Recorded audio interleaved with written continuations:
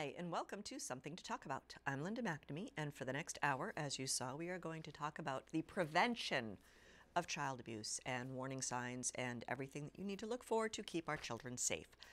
However, before I begin, as usual, we need to get the whole business thing out of the way. If you have a question for our guests, whom you will meet momentarily, you can always give us a call at 781 what is the number? 270 9199. I never call, so I never remember the number. Or you can always email me at talk at bcattv.org.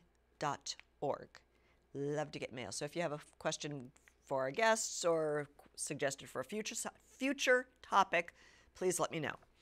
I would like to thank the crew for this evening. We are small but mighty tonight. We have Chris Flaherty, who is a staff member here, making sure that everything runs smoothly. Jolie Atwood, who just had a birthday, so we we didn't sing, but we did have a cake for her. So happy birthday, Jolie! And we have Colleen Moore, who is also giving up her Wednesday night to come and hang out with us. Last but definitely not least, I would like to thank my husband Paul for staying home for daddy date night. Hopefully, the math homework went smoothly this evening. Now, I would like to introduce my wonderful guests. We have Adrienne Simeone, who has been on the show before. Yes, thank you for having us. So, thank you for coming back. And Jenna Lloyd, who is a newcomer to the organization A as well as to BCAT. Well, thank you guys Thank both you. for coming yeah, up. we're excited. So,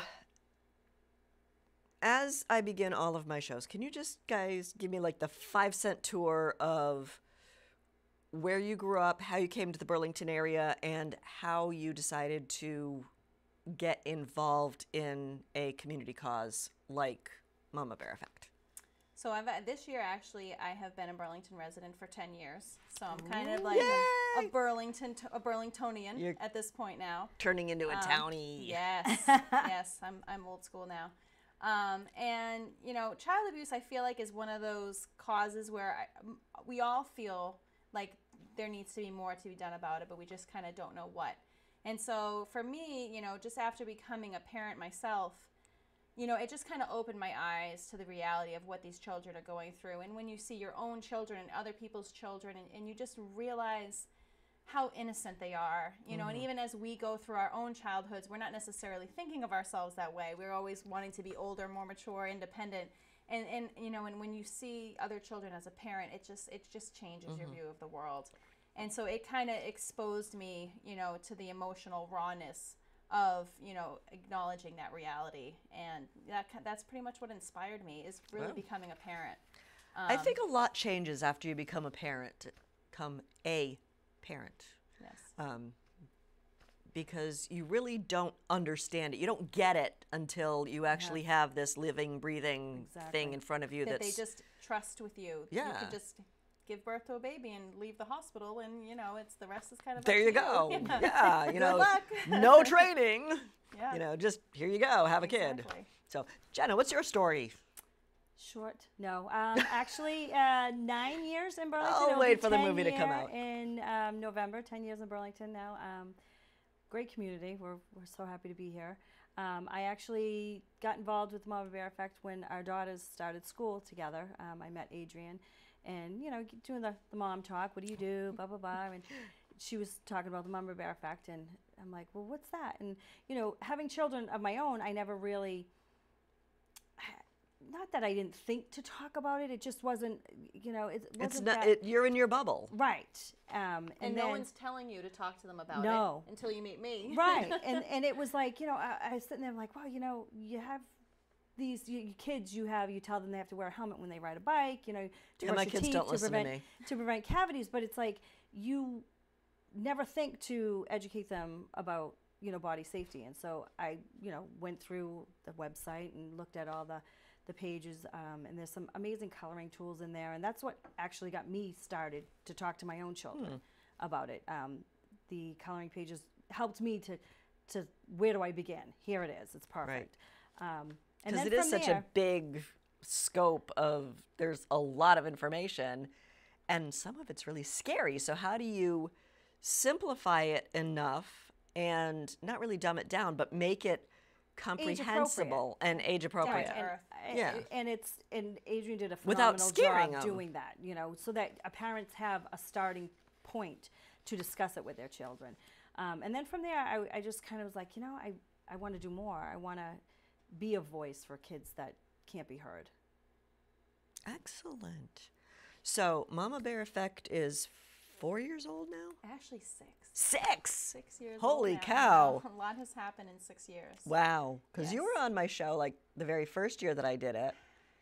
And Yeah. then we I had an yeah, it was like- anniversary like, one year later. Yes. When was the anniversary? You were very, pre- well, you were not, maybe was not it two- very it was pregnant. Two years ago. I was But pregnant with you were- my th- three, almost four-year-old. Wow. Okay. Yes. Ah, so that was a Wow. ago. Okay. Yes. And then Reality check. ago- You know, yeah. once you hit a certain age, we just stop aging and Yeah, and time then I think the last time I was on, I was a month shy of being pregnant with my last baby. oh, okay. So lots of babies have happened. Wow. Yes. But um, so what was your question? I can't remember. So Mama Bear Effect has been around for six years. How did it come about? And you know, where did you get the name? Where did you, you know, yeah, all these materials are great to distribute, but how did you like come up with the cohesiveness? I feel like sometimes we are just kind of meant to fall into a certain purpose. And when I was growing up, I felt like I wanted to find a purpose in my life, so a way to give back to the world. Wow. Okay. Um, how profound. and so for a while, I kind of didn't know what it was. So if a friend of mine was running a marathon, I would make a donation. You know, if people were doing other things, I would support them. And I was still, you know, open to that opportunity. So um, I think my first purpose I knew was that I wanted to be a, a parent. And, you know, and then I think that led me to the realization about, you know, that child abuse is such a real issue and it's really hard to tackle. How do we how do we how do we address this issue if it's not something that we're necessarily going to see? Um, it mostly Right. happens behind closed doors. So, you know, just through people that I've known, um, a few years after we moved in t- uh, to our house in Burlington, across the street, a graphic designer moved in, and you know she does amazing graphic design work. And then I also uh, made friends with an interior designer, and we were all kind of networking. And I remember a conversation we were having um, during a meeting because I was helping her with some marketing work because that's what I used to do before was marketing and sales. And she had talked about being a mama bear for her daughter. That she went hmm. to pick her daughter up at preschool or somewhere she was picking Okay. her up. And there was a man like smoking a cigarette not too far hmm. from the entrance of the building. And she was like, normally I wouldn't have said anything, but she was like, that's not right. I don't want all these kids breathing in cigarette Yeah. smoke. And so she's like, she's like, you know how your mama bear just comes out, you know? And I kind of researched it a little bit. And it, it's it's a biological reaction that people Okay. have, and it's actually hmm. specific to animals that are nursing, like a hmm. bear. That when they are nursing a newborn, there is a chemical reaction in their body that Wow. makes them more aggressive. That Wow. makes them stronger I defenders. didn't knew that. Yes, so But it's actually yeah, it makes makes sense, Wow, right? And okay. but I mean, and that doesn't have to be the case. We don't have to be nursing our babies to feel like defenders. And a lot of people feel like mama bears for kids, even if it's not their own kids. Yeah. They just feel like they're going to protect these kids, and they don't care who they're going to offend. Mm-hmm. And so, learning about child sexual abuse, it's not so much that we can't prevent it; it's that people don't want to talk about it. And so, therefore, that's what's enabling this one the abuse from hindrances. Oh, Yes. okay. it's huge. It's a huge problem. Wow. So I kind of took it as a marketing challenge is how do we take this issue that people don't want to talk about and inspire people to we, be, want to be hmm. part of the solution. Okay. So draw from a strength, draw from a positive that this is not something that we're afraid of. This is about us doing what is necessary to protect innocent children. Ah. And so that's kind of Put a where it little all came spin about. on it. So, you know, just that conversation inspired that in my head. And then I reached out to Laura of Design Invasion, who lives across the street from me. And Okay. she does, I mean, uh, when I saw her work, I was like, oh my goodness. Wow. Like, okay, you're the real deal. And I was, I was like, can you, do you mind?" do a logo for me? And she's like, I am going to do a logo for you. and it's Oh, gorgeous. just you I don't know if I can show this, but That's um, amazing. This is the logo that she did for us, and she's won a few um, design awards for this logo. So you know, Yeah. it's the Papa Bear. So it's an award winning. It's a Papa Bear, a Mama Bear, and then a baby bear. And Oh, they're okay. I thought it was Mama Baby and the baby yeah, had a little no, the stuffed Papa animal. Bear's there, and the, the you know can see the claws out. They're not that scary, but you know they're Well, there. bears don't have retractable claws Right, anyway, yeah, so they're, always out. Our claws are always out. But um, you know, and it's like a circle of safety that this child is completely Oh. protected by the men and women in this world that are committed to. Now, was she able to come up with that on her own, She or did did you have to like? on her own? I had no input whatsoever, and I have Wow. full faith in everything that she does. Um, you know, it's like Because like the whole circle and Yeah, safety thing, I'm like, you didn't have to prep It's like a yin yang. It's beautiful. She's, I mean, she's very, very talented. That is so, really cool. Um, it's amazing. So that is a, you know what I mean? All these little things have just kind of come together. And I have a cousin who is a lawyer, um, and he helped us uh, network with some lawyers based here in Boston to okay. file the paperwork to become a co- corporation and then the 501c3. 501c3. Okay. Um, and so it didn't cost us anything. And it was the easiest thing to do. They Wow. basically, you know, had some phone conversations with me and, and we worked through it. Hmm. And then they've helped us trademark the logo. We've trademarked the first awareness ribbon for the prevention of child sexual abuse. There wasn't Wow. one before. Um, and we Now, is that like a particular shade of green? It's kind of like it's a, limey chartreuse. chartreuse. It's a chartreuse. Okay. PMS code 390C for all those graphic designers watching. Laura, Of course. But um, you know, that was my next guess. Yes. but it's it's not really that similar to any other shades that are used with other awareness Oh, ribbons. Okay. Um, because I know like there's a lot of blue awareness ribbons out there. Mm-hmm. Um, and so I don't even know if there's actually ever been uh, an awareness ribbon trademark for child abuse Hmm. prevention. But that was one of the first awareness ribbons ever put out was by a grandmother who had lost one of her chil- her grandchildren Oh, wow. um, from abuse, and she um, put a blue ribbon on her antenna of her car just to you know start to raise awareness for that. And so that's actually what inspired um, All the the blue ribbons. ribbons Yeah. to, uh, to, for child abuse prevention was one okay. woman. You know, and people would ask her what was the ribbon for, and it just kind of uh, grew on its own, which I think is really beautiful. Cool. Now, speaking of child abuse versus child sexual abuse, what made you decide to go that extra step? Because there is a lot of child abuse, unfortunately, in our society. So, why did you want to differentiate?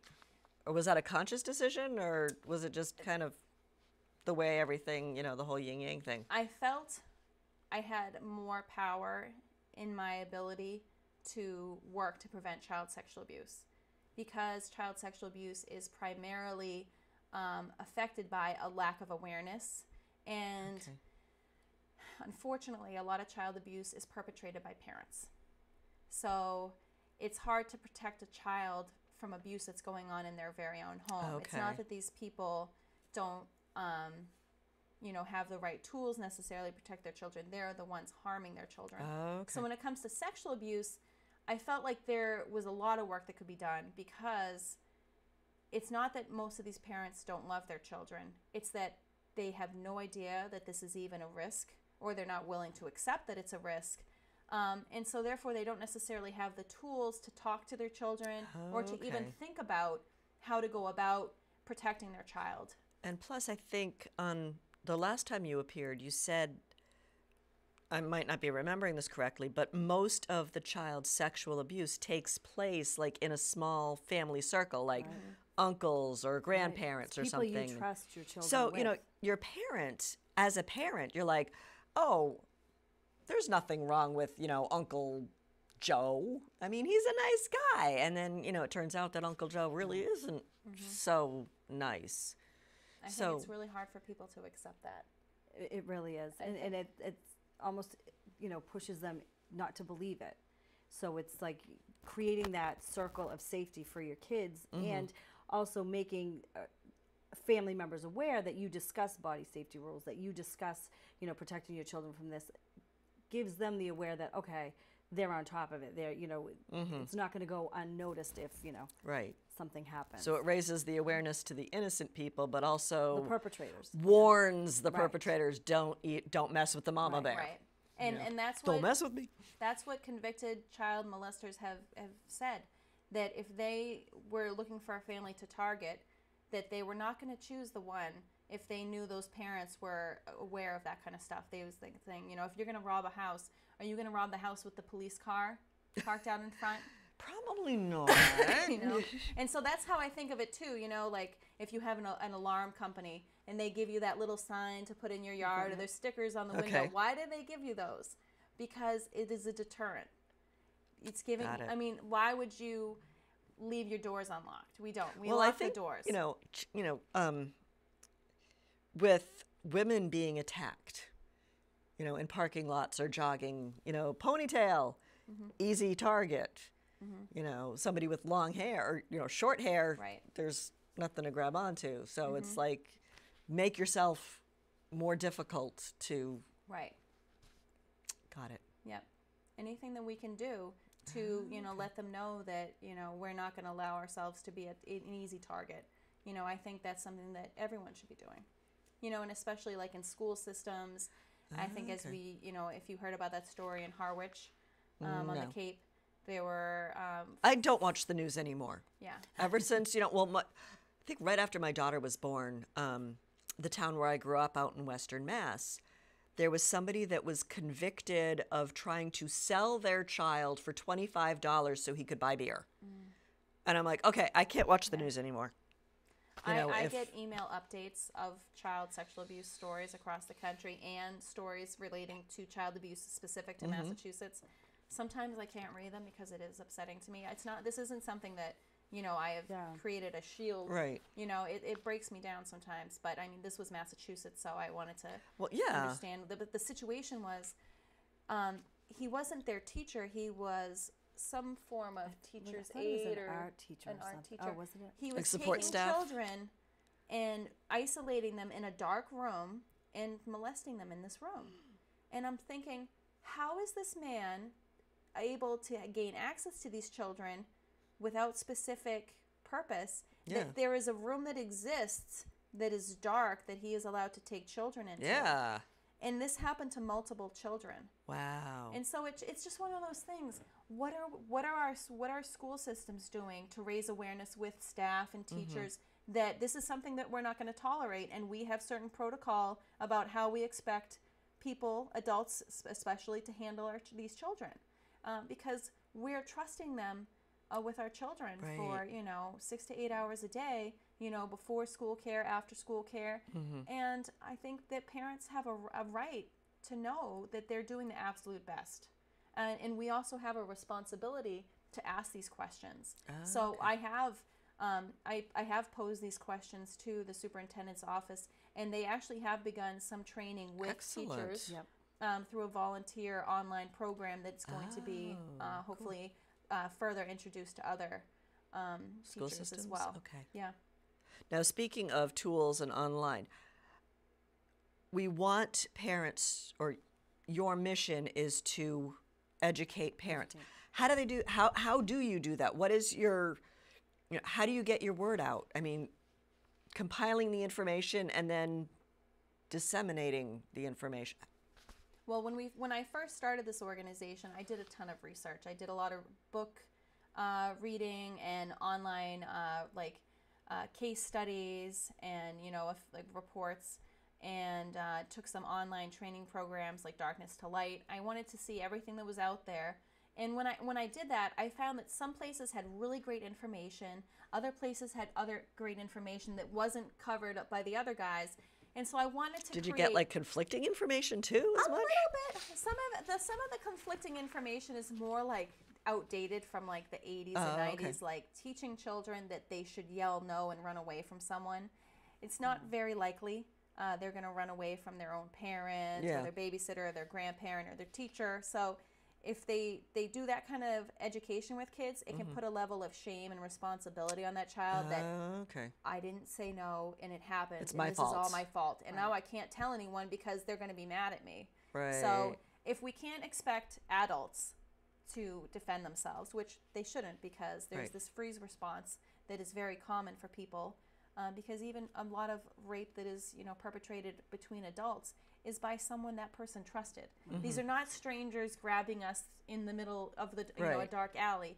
It's it's your friend that you Right. like have known and you would never have expected this person to do that to you. Yeah. So Um, and, and society at large still has a lot of awareness. Shaming the go through. victim. It's, it's, it's So rampant. sad. It is so Everywhere. sad. It is rampant, and Even, it like- happens with children too. Right. There's a lot of vict- It's it's kind of mind blowing that this this is going on to the extent that it is. But so creating the Mama Bear Effects website, I wanted to create a, a place where all this information could be easily accessible, free. I didn't want this to be something where oh pay for our video or do this. Let's just get, make the information free. We need to protect children. Let's not make this any harder for people than it has to be Okay. and you know so we, i created this age by age guide and then free downloads coloring pages access to other websites for further resources Okay. so it's pretty extensive at this point Cool. and yeah absolutely and so then people wanted to know how they could do more within their own community so i was thinking what, what can i do because this is really what i want to do I, wa- I don't want people just to come to the mama bear effect the mama bear effect in essence is people being You want- advocates within like a their own springboard community. to- it's it's yeah it's it's a movement so i need to give these people tools Mm-hmm. to help them raise awareness so the first year or two I went and printed like 10,000 door hangers that had awareness information on it. Oh. Okay. And so I put it out there that they were free, cover the shipping. We will ship them to you, put them on the door knobs of people on your street. You don't have to knock on anyone's door. Just, you know, just put them out there. And Okay. so within two years, we had gone through all 10,000. Wow. And so then, you know, people were making donations to us. And so, you know, and slowly, and I, and I have been donating a lot of our, you know, fund. My husband, my husband wanted me to get a job. I got a job, and it cost us money. So, Hmm, what's wrong with this picture? but it's okay. He's he's an amazing supporter.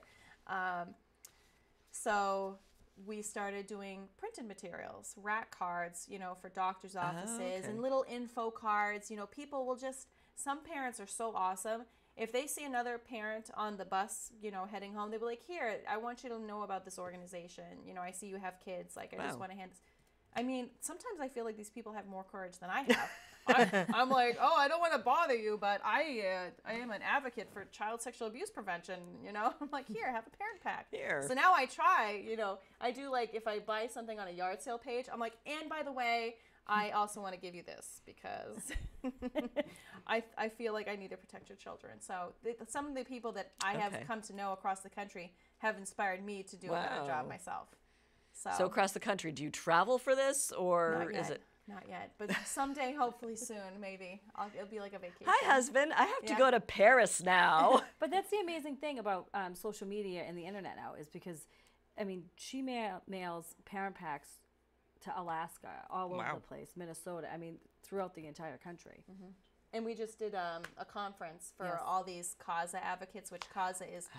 court-appointed special advocates. They advocate for children in the foster care system. Oh, so they just so happen to be having their annual um, convention in Boston a couple weeks ago. So we set up a booth went for like two How days. convenient. It Yes. was great. It was Yeah, so it was pretty awesome. Wow. Especially when you had people that were so excited to see, you know, Yeah. oh, you're the Yeah, Mama Bear people Effect, that I know that you." knew so of us. you're the mama Yes. bear. Right. Okay. Oh, I'm from Oregon. Yeah. You know, Oregon. I, Wow. I am on your website all the time. I Yeah, mean, and then you go on there and you see how much stuff they share because there really isn't a lot of prevention posts on social media. You know, I, I feel like until I started this, I had never seen anything. I had never seen anything. You know, and then I and then it's kind of an eye opener because then when you start to share stuff, you see So who you see who responds, Yeah. but then you see who doesn't.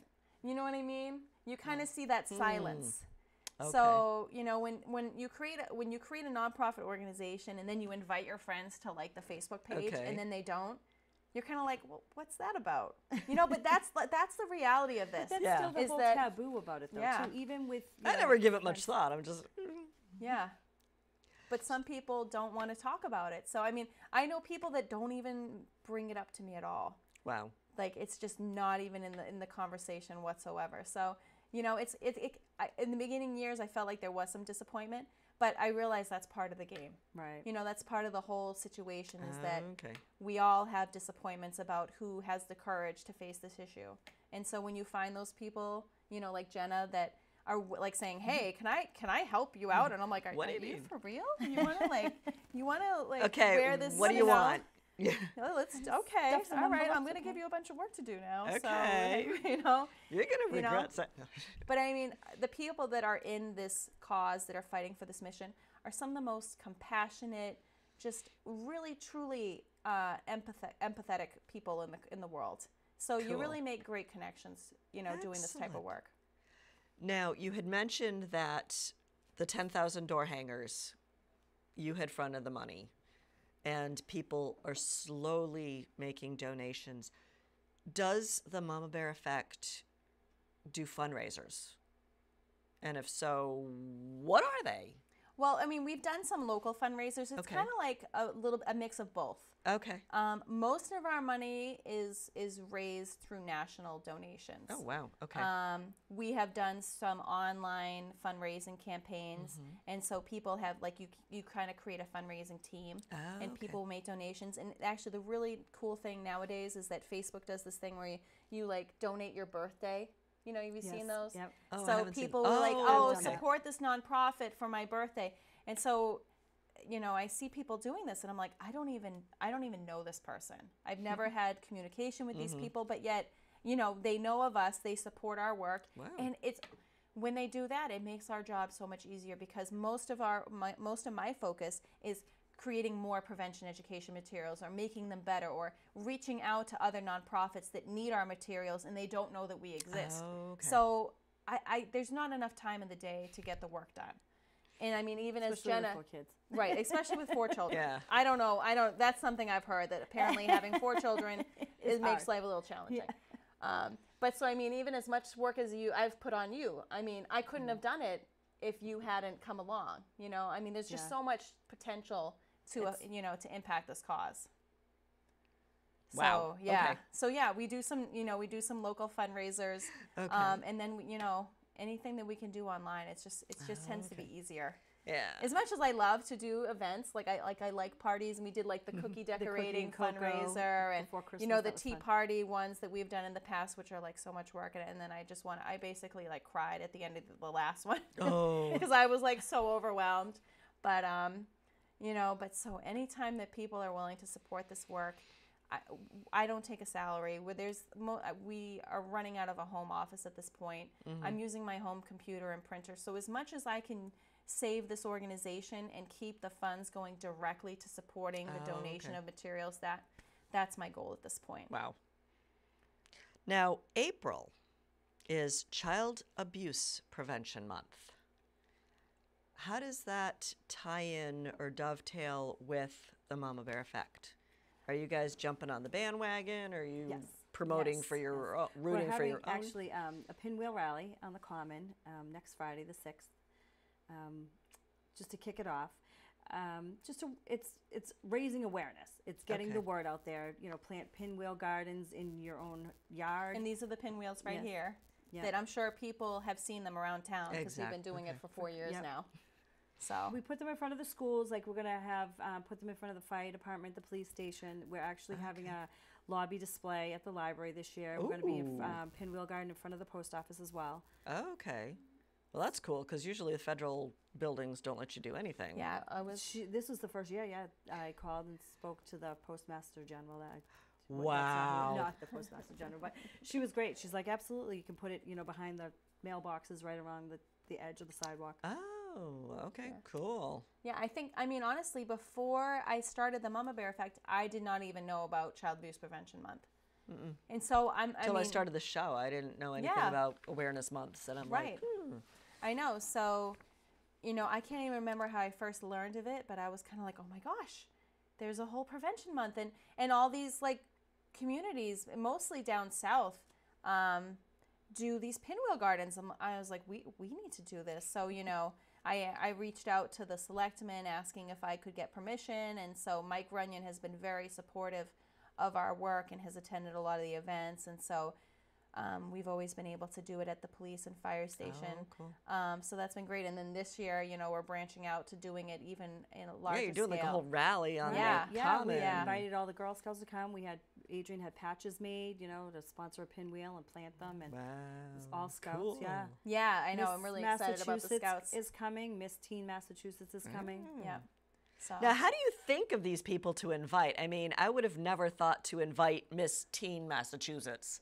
we ha- I had How did, yeah, how I had you, Miss Preteen Massachusetts come to the, the Valentine tea. She had reached out to us and said, you know, I'd like to attend. Wow. And she was the one that read off the winners for the raffles.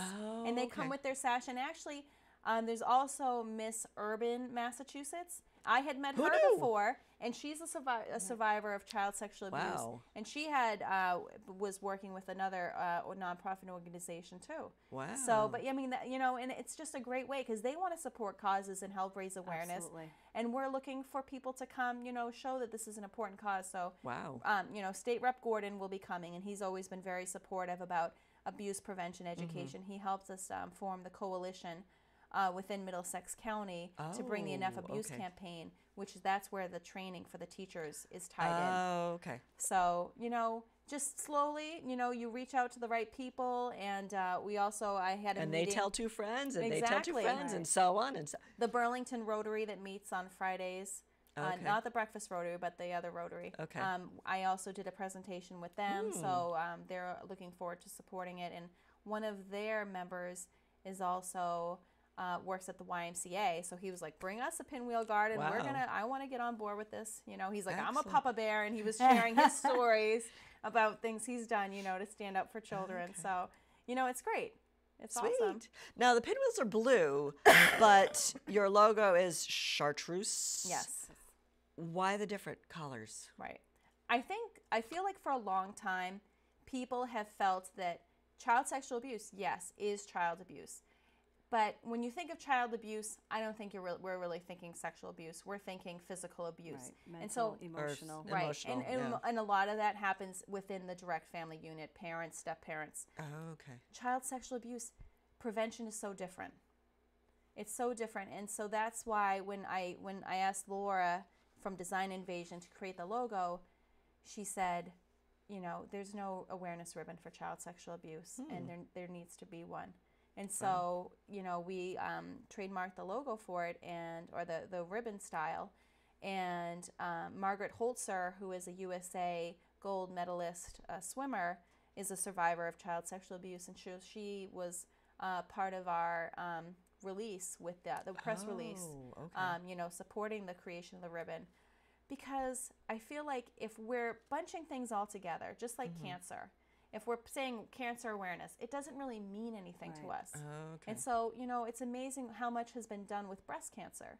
Because so for, for so many years, women weren't even able to say that they had breast cancer because there Yeah. was this The shame. shame, Taboo, this yeah. shame, you know. And so, I mean, look how proud people are to support this cause. And, and child sexual abuse is not breast cancer. It's not Right. ever going to, you know, necessarily be at that same level. Maybe one day, um, because there's a whole other taboo associated with that. right. Um, but so it has meant so much to so many survivors to, to kind of have that se- separation because the, the, the prevention is so different. Mm-hmm. And, and there's a whole other level of shame that's associated with child sexual abuse versus uh, physical abuse. So the level of shame, do you think it's more on the victim at that point? Yeah. I- Where yeah, uh, regular, I, I don't want to say that, but I don't know what the correct right, terminology is. Just either physical or emotional abuse tends to not be the child's fault, but sometimes it is the child's fault.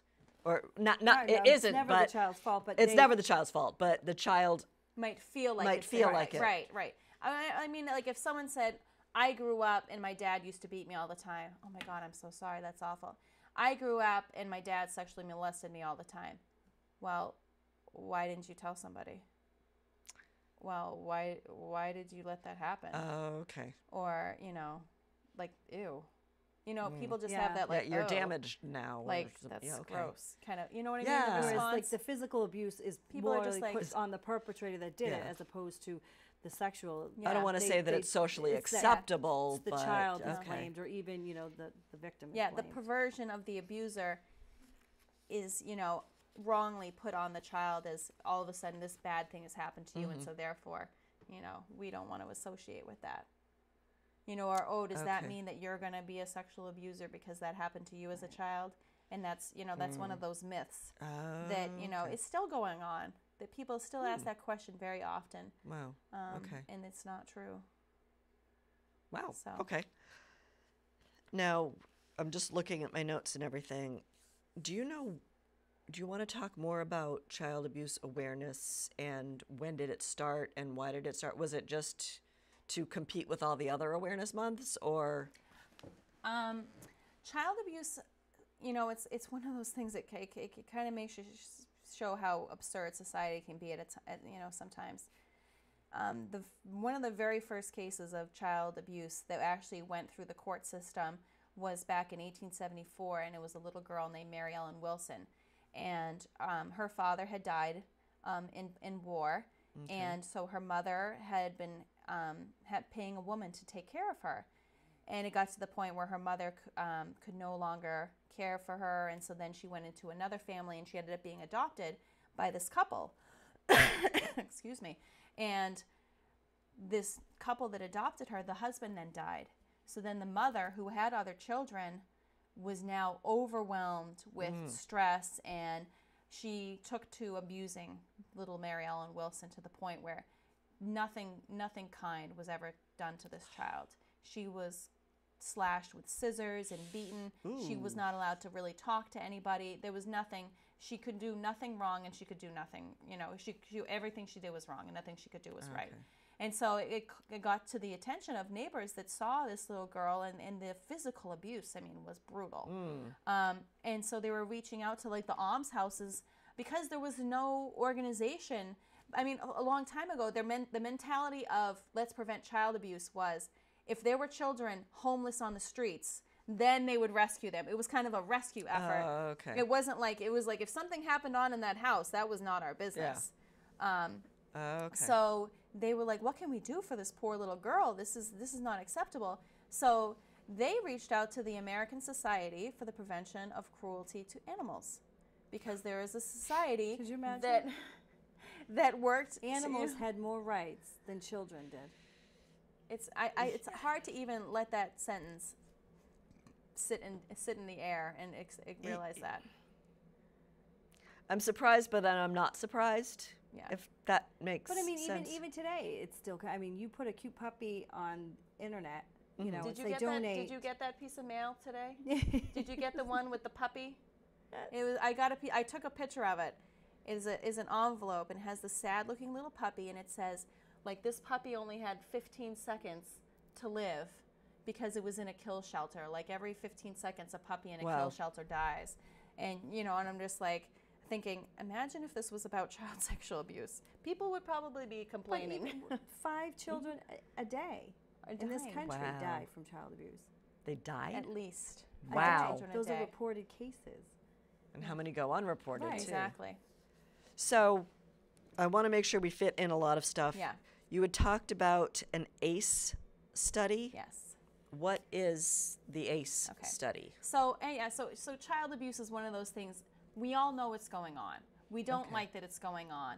And what are, what are the impacts for society and for people that are going through this? So the ACE study um, started like in the 1990s. It was a collaboration between the Center for Disease Control and Kaiser Permanente, which was a very large uh, insurance company or a healthcare company. Healthcare company. Um, and so they were doing uh, physical exams and interviews with people to ask them about adverse childhood experiences. So that's what ACEs are adverse Oh. childhood experiences, things that have gone through your life that create trauma. So physical abuse, emotional abuse, um, sexual abuse, emotional neglect, physical neglect. If your parents went through a divorce during your childhood, Okay. if you had a parent with depression, like severe depression, if you had a parent that had drug addiction, if a parent was in jail, if a parent committed suicide. So, all these things that can have a very strong impact on a child's life. Okay. And so the, the, the reality is is that ACEs are, are rather common. That about you know one third of the population has no ACEs, which is great. That's wonderful. But that leaves Um, two thirds that right, do. that have at least one or more. I'm not sure I like those odds. right, exactly. So, what they came from this study now, they interviewed like over 17,000 people and mm-hmm. did and did physical exams and everything like that because they wanted to see what the health outcomes were for these people. So, the reality is is that the more ACEs you have, the more you are likely to die early. If you have Wow. like That's six or more. ACEs or something, you're likely to die 20 years earlier than anyone else, than a person that has no ACEs. Wow. And, you know, at first they're thinking, you know, well, if you have a bad childhood, sure, maybe you're going to be more likely to smoke cigarettes and, and drink alcohol. Like, who wouldn't? But the reality is, even if you don't do those things, even if you take good care of yourself, the stress that has occurred in your body during those Wow. developing years will affect your life anyway. You're more likely to be a diabetic, have high blood pressure, have cancer, have Wow. all these health impacts. It just, your body, you know, there's a book called The Body Keeps Score. That okay. it- it- uh, of child abuse is not just a memory that children have, it is a wound on their body. Wow. Okay. And so there is um, a doctor, her name is uh, Dr. Nadine Burke Harris. And so she hadn't heard about the ACE study, but she was working at this, she cre- they created the Center for Youth Wellness. And they created um, a clinic for children in impoverished areas so that they could have top rate care. That these were areas like in San Francisco where there weren't even pediatricians. Like they didn't Wow. even want to go there. So they opened up this clinic and they were so excited. We're going to give these kids amazing care. And so all of a sudden she sees all these kids coming in, coming in, being, you know, diagnosed with ADHD. And she's like, this is really strange. Like, why should Yeah. so many children in this area have ADHD? Like, that's not, Yeah. that's not, you know, it just, it's not making sense Okay. you know and you know she uses the analogy of you know if if 100 people are coming to you and they're having they're all drinking from the same well and they're coming to you with diarrhea it's not them you can treat the diarrhea but there's something you got to go take a look at that Yeah. well You got to fix the water. so Okay. she goes to the root of the cause and realizes that most of these children are, are dealing with trauma at home. In a lot of cases, it's not ADHD, it's PTSD, post traumatic stress disorder. Oh, these Oh, children are not able to deal with the stress that's going on in their life. And so it's going to come out in different ways. Mm-hmm. I mean, when our brains are developing, we're making connections about how to deal with emotional responses, how to how to make decisions, how to know when we're safe, right? That's one of our most basic needs as human beings Right. to feel safe. And if a child can't feel safe at home or in their, the environment where they're growing up, Mm-hmm. then they're not going to be able to go to those other levels of, you know, self uh, actualization.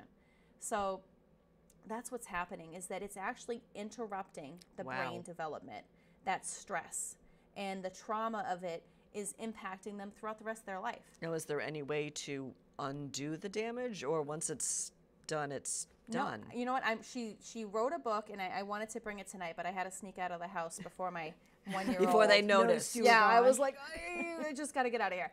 But so she wrote a book. It's called The Deepest Well, and she is addressing how we can heal the trauma that these kids are going through. Um, but one of I think the biggest challenges is we have to acknowledge that this is a real issue, and we have to support it. Okay. Because you know when she made this realization, and then she learned about the ACE study, and she's putting all these you know Hmm, okay. things together. She's like so excited, and she did this amazing TED talk about it. But then, not Nothing that many people supported it. Right. Even pediatricians don't want to address it, and schools Hmm, okay. don't want to address it. And these are like some of the key areas where we can really impact children's lives. Wow. You know, if a pediatrician has a new family come in, they can be screening the parents for ACEs because there's a lot of, you know, um, Hmm. Oh, okay. it kind of it becomes generational because, you know, when you have been dealing with stress from your own previous trauma and what that can lead you to Mm-hmm. Well, you having don't an have the environment tools for your to- children. Right. Right. To deal with Right. okay. So I mean that was kind of one of the most challenging things about child abuse is that you have to kind of get it in with parents. Oh, okay. And and it's easy I think to point the finger and say those people don't deserve to be parents. Those people should be sent to prison for the rest of their lives or you know, let's bring back pu- public hangings. That's not going to save kids. No. right. Right? We kind of have to realize And that even you know, taking the child away and putting the kid in foster care—that's not That's a not gonna- good solution right, either. it might it might be a safer solution sometimes, but it's not the best solution for kids. Right. Okay. Yeah. So what's next on the list? so what we've talked a lot about the resources that you have available. Can we just talk about some of those resources like what we can start to do to prevent child abuse? So, it's it's it took me years to find real information about preventing child abuse, not just sexual abuse, because sexual abuse is really an awareness education Okay. issue. When it comes to child abuse, I was talking with other advocates, and we're just like, I just, where are these? There has to be resources somewhere about what we can do. And it's like, it's kind of one of those common sense things where it's, you know, that situation where they have the 16 kids living out in, what was it? No, was it The 13 kids Yeah. in California. California, right? yeah, 13 the Turpin kids. family. the Turpin family? Um, neighbors knew that there was something weird with that family. They had suspicions that things weren't right, but no one wanted to go over there. No one wanted to know. You know, and so I we if I finally don't know came about across it, it's not happening. Right, exactly. it. I, because then once you know, then you feel responsible, Mm. and then you know we we don't like that because then you might actually have have, to to, do, do something, about it. And, oh, that's uncomfortable. Okay. But so it's called the Five Protective Factors Framework, Okay. and I'm not sure if I can remember all five here, but the basic idea is we need to support families in times of crisis. So Okay. food pantries, uh, domestic violence shelters, um, you know, homeless shelters. When a family is under stress or they're in a situation where they need help, they they need basic resources so they can take care of their family. and a lot of times they're they won't ask for it. Right. People are because then they're afraid they might lose their kids, or you know, or it just might be a pride thing. They don't want to have to Yeah, ask exactly. Our society is like you have to be perfect. Right. You have to, you know. Well, and there's a lot of shame about you know taking social services that Right. oh all these people are you know taking advantage of the system and this and which is not really true. So there's shame and there's a lot of you know, but there's Mm-hmm. Also a lack of resources. I mean, if you're in a situation where your you know spouse is abusive to you. Um, are you? Do you know where to go? Do you know that it's going to be a safe place? Because I know some people. and even if like- you walk away, then how do you How do have you a really roof over your away? head? Right. How, do you, get right for your survive? I mean, Right. Right. So sometimes people, sometimes it's just easier to put up with what you're going through than try to, to try to find a better solution. So and and the also evil too, that you know is better, Better than, than the the evil you that you don't. don't. Yeah. right, know. right. But also too, when families can't provide for their children, it raises stress levels. And so I think you know we can all you know talk about you know our spouses or ourselves. What happens when our stress levels go up? You know, at the end of the day, When mama ain't happy, Yeah. nobody's that happy. that witching hour, like between four and six, and everyone's hungry and cranky, is not my shining moment. But your witching hour is only two hours. Mine's three. But so that's us. You know what I mean? Right. And I mean, we're relatively good parents. We want to be good parents.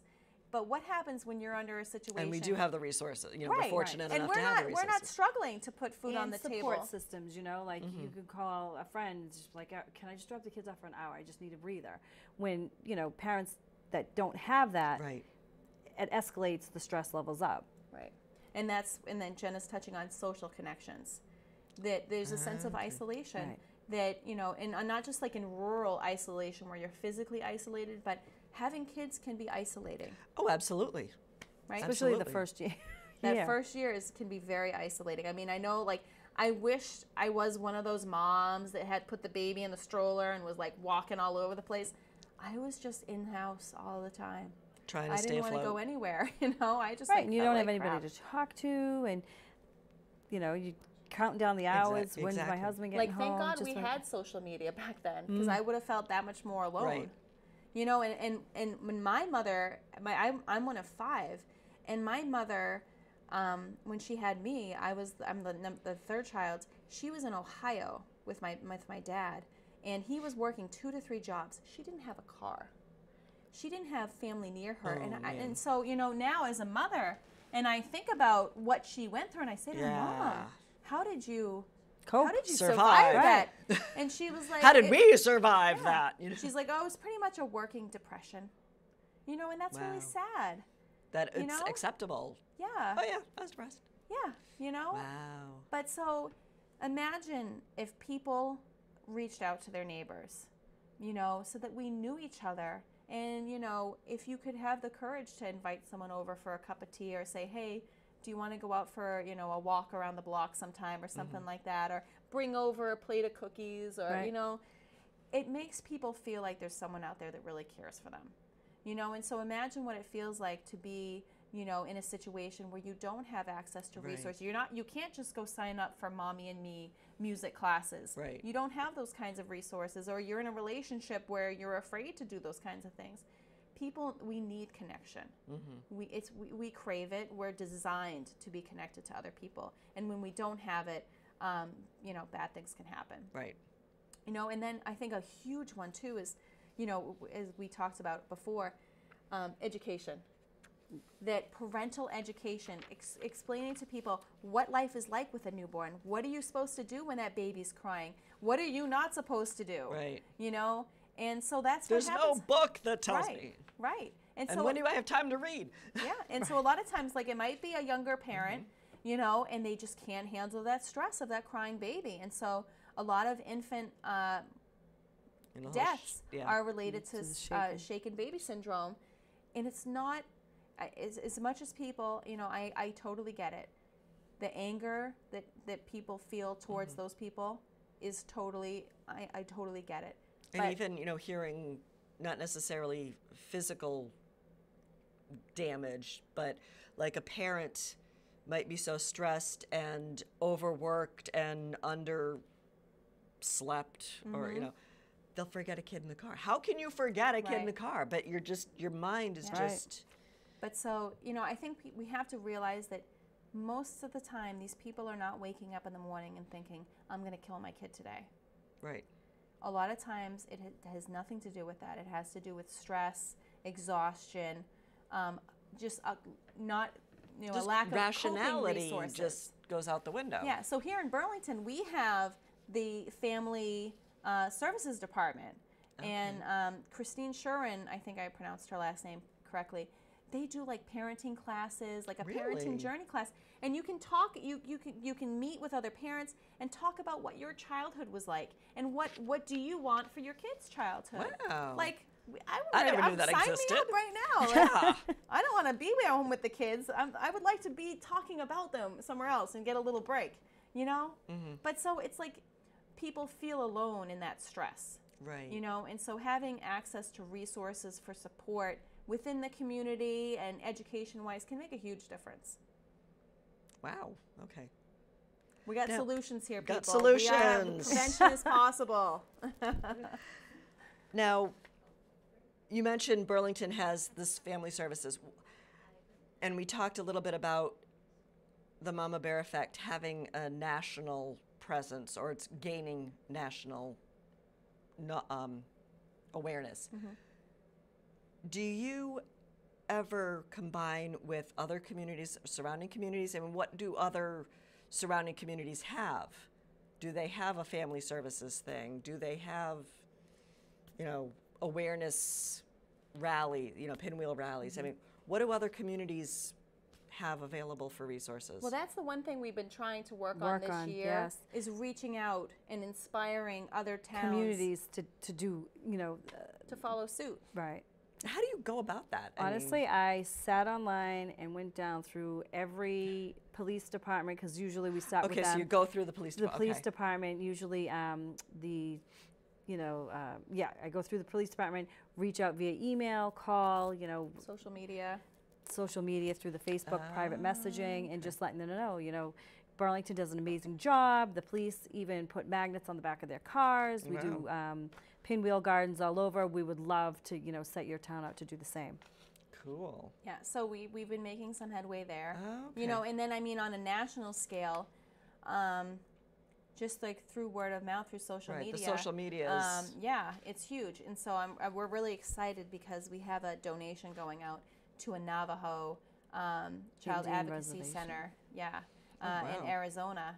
And, you know, it their, their opportunity for resources, it can be very challenging. You know, Right, and, okay. and on reservations and rural areas, abuse is sky high because there's not a lot of resources for reporting.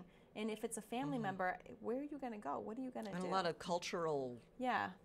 Yeah. norms and taboos and everything. Yeah. So, and actually, I'm, I'm also working on a partnership with a fellow organization up in Canada uh, called Project Roar. And she's a survivor and she's been speaking out.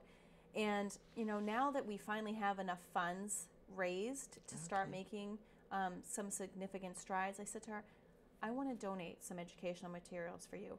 let's get you, you know, set up, and then you know you can sell them, okay. and then you'll have the funds where you can start, you know, paying for your own inventory because we don't need to recreate the wheel. right And. I, you know, and this isn't this isn't um, an ego thing. Let's just cre- let's just get prevention out there. Okay. Like what, what people don't need to be waiting for this information. It should have been out 50 years ago and more. You know. Okay. We are almost out of time, so quickly, you wrote a book. I wrote a book. Oh my gosh. You published a book. My, my daughter likes to call me the author. Now, this is the parent version. I mean, this is the uh, teacher version of the book. Okay. The parent version is going to be a nice, sturdy board book Oh. because this is really an Now, what is your target audience? Like, This is like Up to toddlers to Ah, kind okay. of So, first like- grade-ish. oh, okay. So this is like an introduction um, to talking about what private parts are, what constitute private parts, and what's the rules about private parts. So there's no talk about sex. This is not about that. This is just saying that the parts of your body that are covered by a bathing suit or underwear are your private parts. And these are the parts that we don't share with other people. They're very special and you know, boys have but you know, in the the parent version we we identify genitalia because it's for parents to talk Mm-hmm. to their kids about. It's very important to use the proper words. When it comes to the teacher's edition, we, we just call them private parts because it's not really a teacher's job to Yeah. be talking about specific things. right. So children not only need to know like what the rules are, but that it's right to tell and that it's never too late to tell and that a lot of times um, abuse is, is reported by teachers and a lot of the times it happens okay. after a presentation has been made and the child realizes what's been going on to me is something I need to tell and this is a safe person to tell. Okay. So there have been um, Erin's law across the country has been passed in different states, mandating education of children starting in kindergarten. Oh, okay. We do not have it yet in Massachusetts. A bill has been presented, a very extensive bill, um, also covering mandated training of teachers and anyone involved uh, with children, whether it's youth sports. so basically, anyone who Yeah. has to fill out a CORI has to go through this. Why not? What, I mean, Yeah. CORIs don't keep our kids safe. Right. I mean, I'm not really too worried about someone that created, you know, federal fraud or something like that. I want I want to know Right. who's a safe person for my kid. Oh, okay. But so the Now, how book- somebody get the book Yeah. available? So the board book is coming out um, May to June. It's in production right now. The, the the teacher's version is available through our e-commerce site. So if you go to the mamabeareffect.org, there's a link right on the front page, Oh, okay. along with information about the Pinwheel Rally and links to all our resources. So that's really kind of the, the main place to go. It's got a lot of information on there. Well, we are out of time, believe it or not. So I want to thank you guys both. Thank you, ladies, Thank you. for Thank coming. you. And I can't wait for the Pinwheel Rally on yes, April come down, 6th. sponsor a the snow is melting. It is. Snow the will ground be is the ground needs the thaw. Yeah. So April 6th at 3:15 3:15. 315. in front of Town Hall. the police Yeah. chief, Okay. selectmen, Miss Massachusetts. Miss Teen, Massachusetts. Come down. and Come and sponsor a check it out. Yes, it's going to be a in the lot of fun. Support prevention. Okay, I want to thank everyone for tuning in this evening, and I will see you around town, hopefully at the Pinwheel Rally, and have a wonderful evening. Good night.